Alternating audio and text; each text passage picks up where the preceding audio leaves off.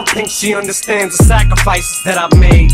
Maybe if this bitch had acted right, I would've stayed. But I've already wasted over half my life. I would've laid down and died for you. I no longer cried for you. No more pain, bitch. You took me for granted, took my heart and ran it straight into the planet. Into the dirt, I can no longer stand it. Now my respect, I demand it. I'ma take control of this relationship, command it. And I'ma be the boss of you now, goddamn it. And what I mean is that I will no longer let you control me.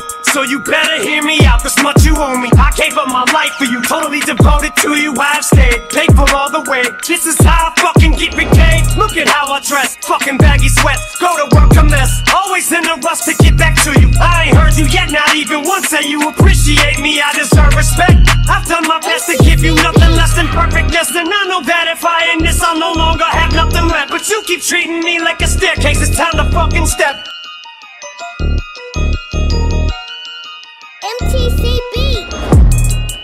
Same shit that you made me eat. I'm moving on, forget you. Oh, now I'm special. I ain't feel special when I was with you. All I ever felt was just helplessness. In prison by a selfish bitch. Chew me up and spit me out. I felt for this so many times, it's ridiculous. And still I stick with this. I'm